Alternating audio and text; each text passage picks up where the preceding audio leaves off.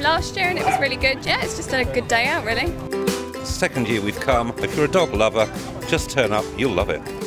There's so much here to do, and it's a great day out for, for, for the dog as well. It's been really enjoyable, and that's you know, what draws us to them. I've probably been to it ever since it started, so many, many times. It's one of the better shows out there on the circuit.